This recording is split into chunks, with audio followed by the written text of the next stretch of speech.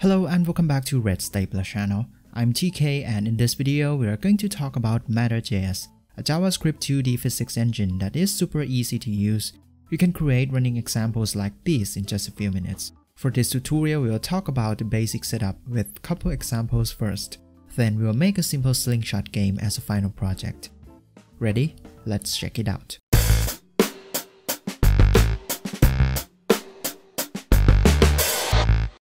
And here's the first example we are going to work on. I'm going to create a world with two simple boxes. So let's download Matter.js. You can either use npm or just download it from GitHub. Then place the file in the web directory. First, include the library using script tag. Then create Matter Engine instance using create method.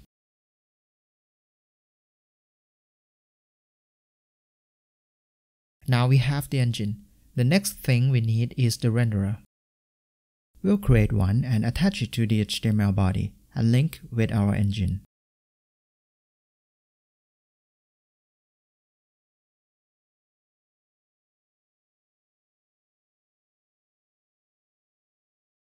Then the first object we are going to create in this world is the ground.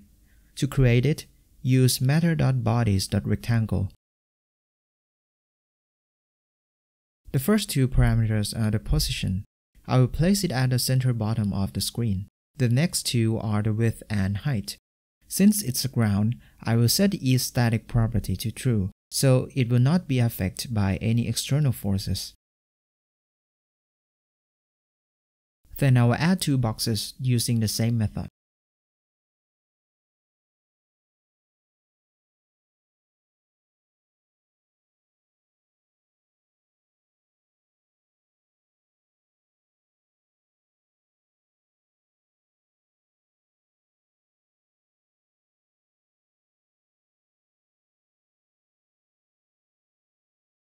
Then we'll add all the objects to the world using world.add static method.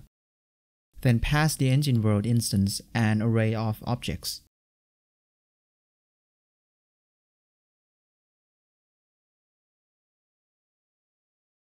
Then we run both engine and renderer.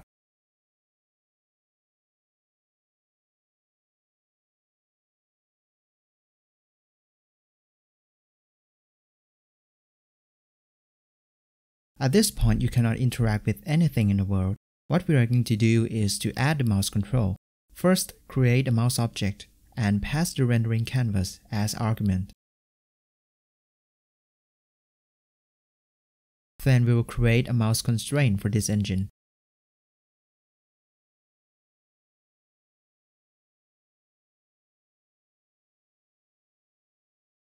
and pass our mouse object into it.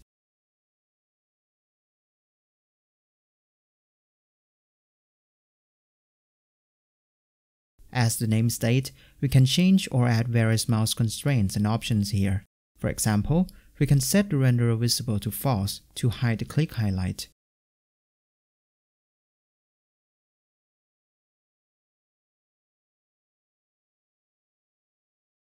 And finally set the renderer mouse to our mouse object and add the mouse constraint to the world.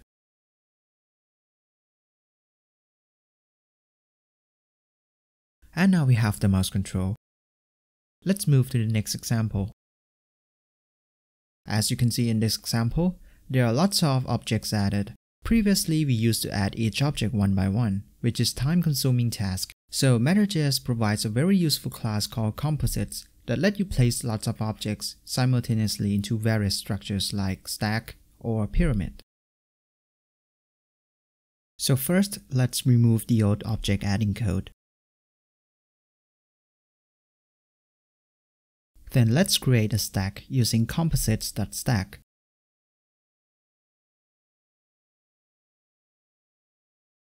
The first two arguments are a position.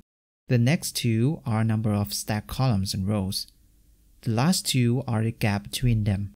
Then we need to pass the callback function to create the object in the composite. So I'm going to create a rectangle with the size of 80 pixels.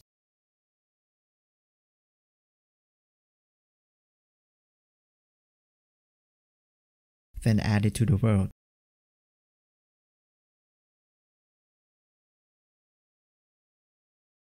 With this, we can create interesting stuff inside the callback. For example, I'm going to create a random number between 3 to 8. Matter.js also provides a common utilities function inside the common class like random. I will use this number as a number of sides to create polygons.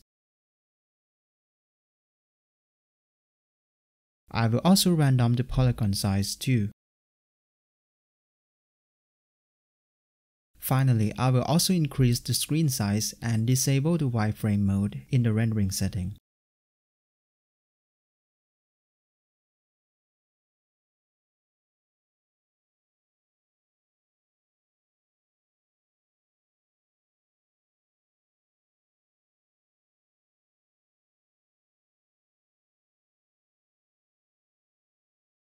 Looks good. Now let's work on the final project, the slingshot game. So first let's change the ground into platform and place it on the top right of the screen. Then create a stack of octagon and place it on the platform.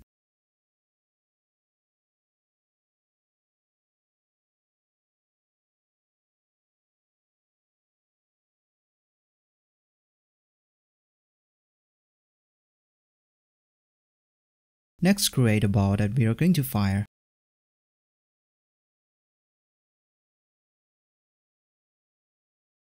I will place it on the left side of the screen. Then create a sling using constraint class. The first attribute is point A. This will be the fixed point of the sling.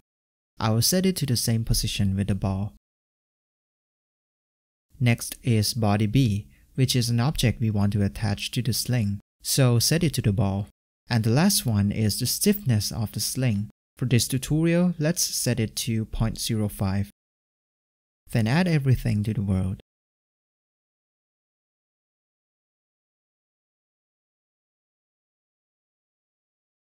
Looks good. Next, we'll work on the firing event.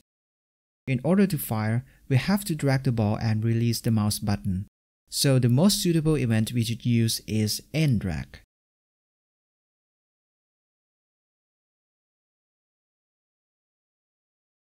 Inside the event handler, we will check if the triggering object is the ball. Then we'll set the firing flag to true. Then we'll keep checking the position of the ball on every screen update using after update event.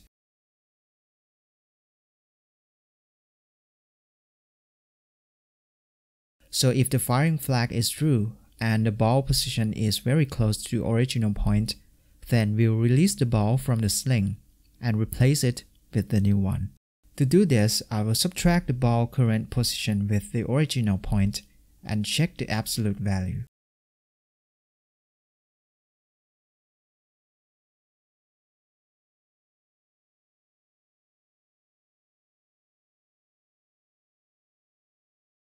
If the condition is met, then create a new ball at the starting position.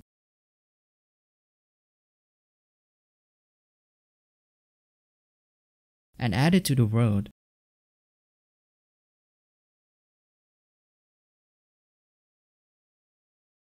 Then set the sling body B attribute to the new ball and reset the firing flag.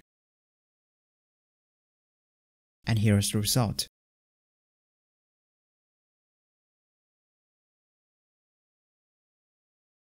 This is just the basic of Matter.js. You can try experimenting with the demo on the library page to utilize the full potential of Matter.js.